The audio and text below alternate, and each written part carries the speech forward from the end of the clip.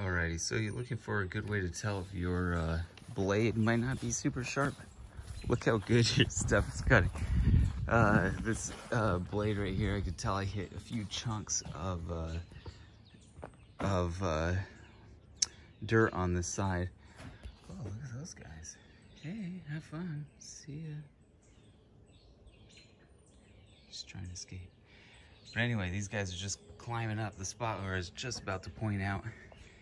I hit some dirt like back over here, back over here, and then you can start to see it gets a little wavy.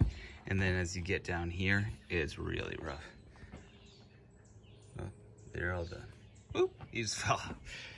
And if you look down the log, you can, I don't know, actually, you can't really tell super well from the camera here, but, uh, oh, here we go. Yep, you could see it humps up right here, and then, yeah, there we go. And then again over here, um, you could see in person it is it's really high up right here and not so much anywhere else. Oh, look at these guys down here having fun. Anyway, um, but yeah, that's when you know, all right, probably should change my blade.